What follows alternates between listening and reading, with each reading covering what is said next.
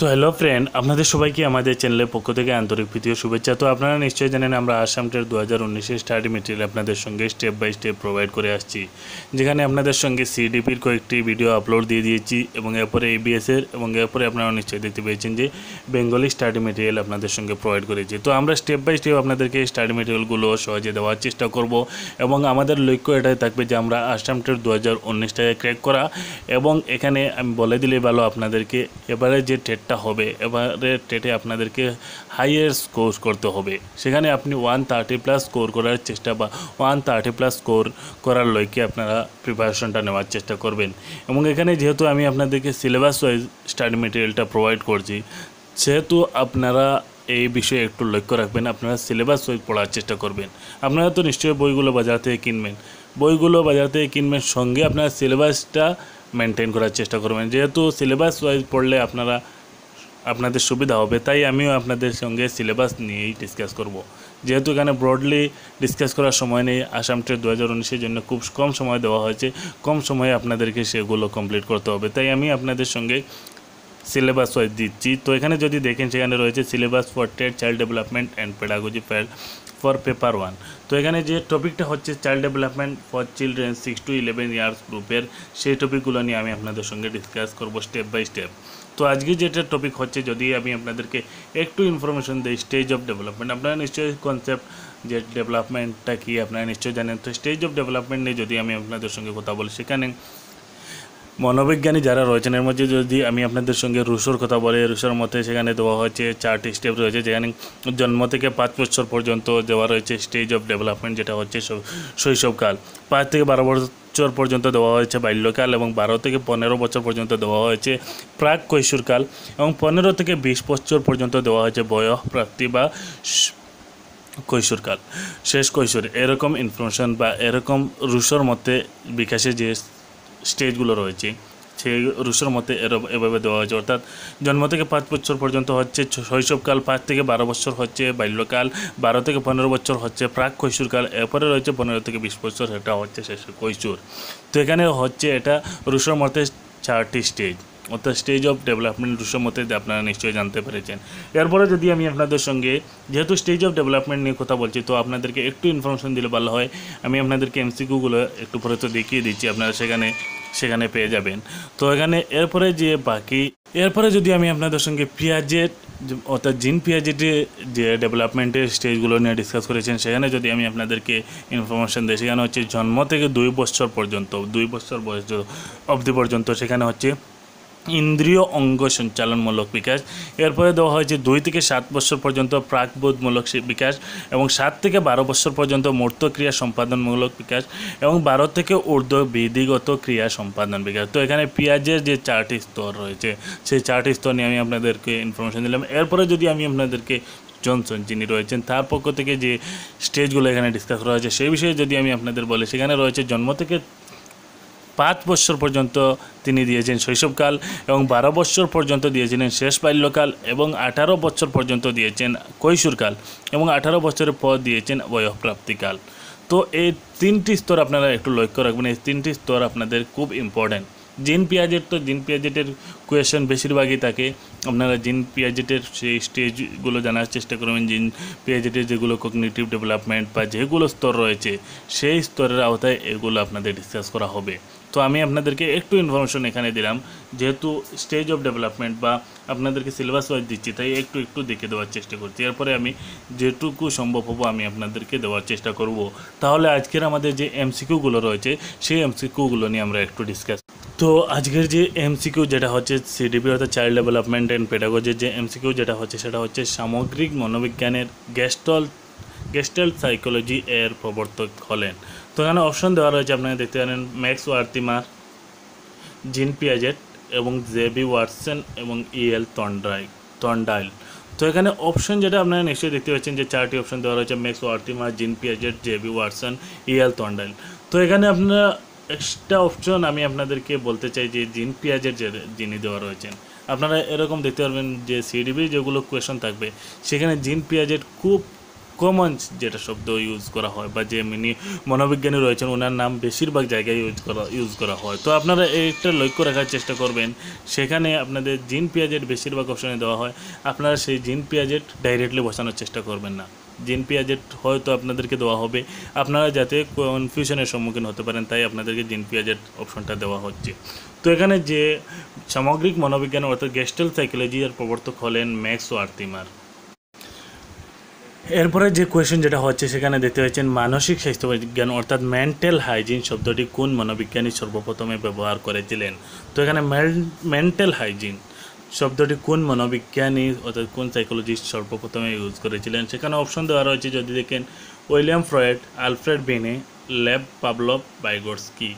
তো এখানে কোয়েশন যেটা আপনারা নিশ্চয়ই দেখেছেন যে মেন্টাল হাইজিন মানসিক স্বাস্থ্য বিজ্ঞান। আমি আপনাদেরকে এখানে আন্ডারলাইন নিচে জায়গা করা নেই তাই আমি আপনাদের উপরে করেছি, সেখানে দেখতে পারেন। এখানে দেওয়া রয়েছে মানসিক স্বাস্থ্য বিজ্ঞান। শব্দটি কোন মনোবিজ্ঞানী সর্বপ্রথম ব্যবহার করেছিলেন? তো এখানে যদি আমি আপনাদের সঙ্গে কথা বলি, সেখানে কারেক্ট অপশন যেটা হচ্ছে উইলিয়াম উইলিয়াম ফ্রয়েড, মানসিক স্বাস্থ্য বিজ্ঞান শব্দটি প্রথমে ব্যবহার করেছিলেন। এরপরে যে নেক্সট কোয়েশ্চেন যেটা হচ্ছে, ভারতবর্ষে বুনিয়াদী শিক্ষা ব্যবস্থার জন্মদাতা কে ছিলেন? অর্থাৎ প্রাইমারি এডুকেশনের জন্মদাতা কে ছিলেন বা প্রবর্তক কে ছিলেন? সেখানে অপশন যদি দেখেন, আপনারা কোয়েশন আপনাদেরকেও কনফিউশন এরকম দেওয়া হয়ে যেতে পারে। বা প্রাইমারি শিক্ষার কে কে জন্মদাতা ছিলেন, আপনারা সেটাও লক্ষ্য রাখার চেষ্টা করবেন। কোয়েশন এখানে বুনিয়াদি না দিয়েও আপনাদেরকে হতে পারে যে প্রাইমারি শিক্ষা ব্যবস্থা কে প্রবর্তন করেছিলেন, সেই বিষয়ে একটু আপনারা ইনফরমেশন নেওয়ার চেষ্টা করবেন বা সেই বিষয়টা আপনারা একটু লক্ষ্য রাখবেন। তো এখানে অপশন দেওয়া হয়েছে ডক্টর সর্বপল্লী রাধাকৃষ্ণন, এরপরে দেওয়া রয়েছে মহাত্মা গান্ধী, এরপরে দেওয়া রয়েছে জওহরলাল নেহরু, এরপরে দেওয়া রয়েছে এদের কেউই নন। তো অপশন যেটা হচ্ছে কারেক্ট অপশন সেটা আপনারা দেখে নিন। মহাত্মা গান্ধী, অর্থাৎ ভারতবর্ষে বুনিয়াদী শিক্ষা ব্যবস্থার জন্মদাতা ছিলেন মহাত্মা গান্ধী। তো যদি আপনারা লিখে দেখতে গেলে কোনো অসুবিধা হয়, আপনারা একটু আমাকে বলার চেষ্টা করবেন, আমি আপনাদেরকে যতটুকু পারি ইমপ্রুভমেন্ট আনার চেষ্টা করব। যেহেতু আমি চেষ্টা করেছি আপনাদেরকে সুন্দর করে দেওয়ার, কিন্তু এখানে স্ক্যানের পর সেই প্রবলেমটা হয়ে যাচ্ছে, লেখাটা একটু সুন্দর হচ্ছে না। আমি আপনাদেরকে স্টেপ বাই স্টেপ এরকম প্রোভাইড করার চেষ্টা করব। এরপরে রয়েছে ইনস্টিংক্ট শব্দটি কোন ভাষার উৎপত্তি? তো এখানে রয়েছে জার্মান শব্দ থেকে, এরপরে দেওয়া রয়েছে ল্যাটিন শব্দ থেকে, ইংরেজি শব্দ থেকে, ফরাসি শব্দ থেকে। তো এখানে দেখতে পাচ্ছেন আই এন আপনারা এটা টি ভাববেন এটা হচ্ছে I N S T I N C T শব্দটি কোন শব্দের, কোন ভাষার উৎপত্তি? সেখানে অপশন দেওয়া রয়েছে জার্মান, ল্যাটিন, ইংরেজি, ফরাসি। তো আপনারা এখানে অপশন যেটা কারেক্ট অপশন রয়েছে সেটা দেখে নিতে পারেন। ল্যাটিন শব্দ থেকে ইনস্টিং শব্দটি উৎপত্তি বা ল্যাটিন ভাষা থেকে ইনস্টিং এরপরে যে অপশন যেটা দেখতে পাচ্ছেন, জিন পিয়াজেটের মতে জন্ম থেকে দু বছর পর্যন্ত সময়কে কি বলা হয় বা জিন পিয়াজেটের মতে জন্ম থেকে দু বছর পর্যন্ত সময়কে নবজাতক শৈশবকাল ইন্দ্রিয় সঞ্চালনমূলক শিক্ষা, মূর্তক্রিয়া সঞ্চালন।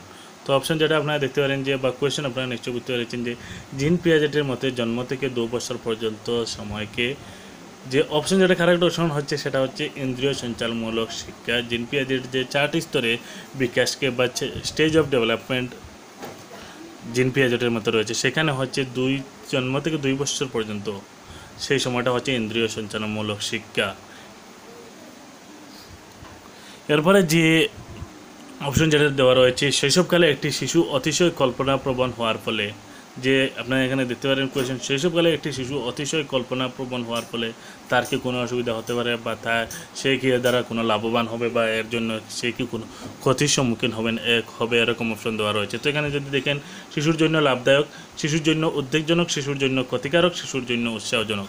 তো আপনাদেরকে কারেক্ট অপশন তো নিশ্চয়ই জানতে হবে, সেটা হচ্ছে শিশুর জন্য ক্ষতিকারক, সেই অপশনটা আপনারা জেনে নিতে পারেন। এরপরে রয়েছে মানসিক স্বাস্থ্য সবসময় জড়িত থাকে। সেখানে দেওয়া রয়েছে সামাজিক কাঠামোর সঙ্গে, সামাজিক মানের সঙ্গে, সামাজিক মূল্যবোধের সঙ্গে উপরে সবকিটির সঙ্গে। তো এখানে অপশন যেটা আমি আপনাদের দেখিয়ে দিচ্ছি। অপশন যেটা রয়েছে যে, মানসিক সাহিত্য সবসময় জড়িত থাকে, সামাজিক কাঠামোর সঙ্গে, সামাজিক মানের সঙ্গে, সামাজিক মূল্যবোধের সঙ্গে, উপরের সবকটির সঙ্গে। তো কারেক্ট অপশন যেটা হচ্ছে চার নম্বর, অর্থাৎ মানসিক স্বাস্থ্য সবসময় এই তিনটি অপশনের সঙ্গে জড়িত থাকে। তো এরকমও কোয়েশ্চেন দেওয়া হয়ে যেতে পারে যে, মানসিক সাহিত্য সবসময় কি বা মানসিক সাহিত্য সামাজিক কাঠামোর সঙ্গে জড়িত থাকে কি, শুদ্ধ না অশুদ্ধ আপনারা দেওয়ার চেষ্টা করবেন বা জানার চেষ্টা করবেন। অপশনগুলো আপনাদের এরকমও দেওয়া হয়ে যাবে। এরপরে যে নেক্সট কোয়েশ্চেন যেটা হচ্ছে, কে বলেছিলেন যে মানসিক স্বাস্থ্য বিজ্ঞান, মানসিক স্বাস্থ্য অটুট রাখায় এবং মানসিক রোগ প্রতিরোধে গুরুত্ব দেয়। কে বলেছেন বা কার এটা উক্তি? সেটা হচ্ছে জিন পিয়াজেট, বিকে কাপ্পা, এরপরে দেওয়া রয়েছে হেডফিল্ড, এরপরে দেওয়া রয়েছে সফটিবুল তো এখানে অপশন যেটা হচ্ছে, সেই কারেক্ট অপশন সেটা হচ্ছে, আপনারা এখানে দেখতে পারেন যে হেডফিল্ড এই কথাটি বলেছেন যে মানসিক স্বাস্থ্য বিজ্ঞান, মানসিক স্বাস্থ্য অটুট রাখায় এবং মানসিক স্বাস্থ্য রোগ প্রতিরোধে গুরুত্ব দেয়। তিনি যে অপশন যেটা হচ্ছে হেলথ ফিল্ড হচ্ছে বা হেলথ হেডফিল্ড এই কথাটি বলেছেন যে মানসিক স্বাস্থ্য বিজ্ঞান, মানসিক স্বাস্থ্য অটুট রাখায় এবং মানসিক রোগে রোগ প্রতিরোধে তো নেক্সট কোয়েশ্চেন যেটা আপনারা দেখতে পাচ্ছেন স্ক্রিনের মধ্যে বাক ও স্বাভাবিকতা শিশুর এক ধরনের। দৈহিক সমস্যা, জৈবিক সমস্যা, আচরণজনিত সমস্যা, মানসিক সমস্যা। তো অপশন তো আমি আপনাদেরকে দেখিয়ে দিব। এর আগে আমি আপনাদেরকে আরেকটু কথা বলে দিতে চাই। আপনারা নিশ্চয়ই সেই বাংলা লেখাগুলো দেখতে পাচ্ছেন। পুরোপুরি সুন্দর হয় না, এই জন্য আমি আপনাদের সরি যেহেতু আমরা বা আমাদের যেগুলো কোর্স করেছিলাম, সেখানে বাংলায় লেখার প্রচলন ছিল না। তাই বাংলা কয়েক বছর থেকে বাংলা হাত ছাড়া হয় সেখানে বাংলা লেখাগুলো সুন্দর হচ্ছে না। তাই এর জন্য আমি সরি আপনাদেরকে আমার লক্ষ্য ছিল আপনাদেরকে সুন্দর করে প্রোভাইড করার চেষ্টা, কিন্তু পিডিএফ এখানে বানাতে গেলে আপনাদের প্রচুর সময়ের প্রয়োজন হয়। তাই আপনাদেরকে হাতে লিখিয়ে দিচ্ছি, আপনারা একটু কষ্ট করে বুঝে নেওয়ার চেষ্টা করবেন। এরপরে যদিও আপনাদের কোনো অসুবিধা হয়, আপনারা আমাকে কমেন্ট করে জানাতে পারেন বা কোন ওয়ার্ডটি আপনাদের অসুবিধা হয়েছে, আপনারা আমাদের কমেন্ট করে জানাবেন। আমি আপনাদেরকে পুরোপুরি হেল্প করার চেষ্টা করব। তো এখানে যে অপশন যেটা দেওয়া রয়েছে, দৈহিক সমস্যা, বাক্য স্বাভাবিকতা হচ্ছে সেগুলো দৈহিক সমস্যা না জৈবিক সমস্যা সমস্যা না আচরণজনিত সমস্যা না মানসিক সমস্যা। তো এখানে অপশন যেটা হচ্ছে কারেক্ট অপশন আপনারা এখানে দেখতে পারেন, আচরণজনিত সমস্যা। এরপরে যে নেক্সট কোয়েশ্চেন যেটা রয়েছে, প্রাক প্রাথমিক শিক্ষা ব্যবস্থায় শিক্ষাদান পদ্ধতি হলো। তো প্রাক প্রাথমিক শিক্ষা ব্যবস্থায় শিক্ষাদান পদ্ধতি হলো। ব্যবহারিক, কাল্পনিক, আত্মকেন্দ্রিক আত্মকেন্দ্রিক অথবা এক এবং দু, তিন চোদ্দ। তো এখানে অপশন যেটা হচ্ছে প্রাক প্রাথমিক শিক্ষা ব্যবস্থায় শিক্ষাদান পদ্ধতি হলো ব্যবহারিকও হতে পারে, আত্মকেন্দ্রিকও হতে পারে। তো অপশন যেটা আপনারা এখানে দেখে নেবেন, ব্যবহারিক অথবা আত্মকেন্দ্রিক। এখানে অপশন দেওয়া রয়েছে যেহেতু চার নম্বরে দেওয়া রয়েছে এক এবং তিন শুদ্ধ তাই এটা শুদ্ধ হবে আপনাদের। এবং কুয়েশনও আপনারা এটা লক্ষ্য করার চেষ্টা করবেন যে প্রাক প্রাথমিক শিক্ষা ব্যবস্থায় শিক্ষাদান পদ্ধতি ব্যবহারিকও হতে পারে, আত্মকেন্দ্রিকও হতে পারে।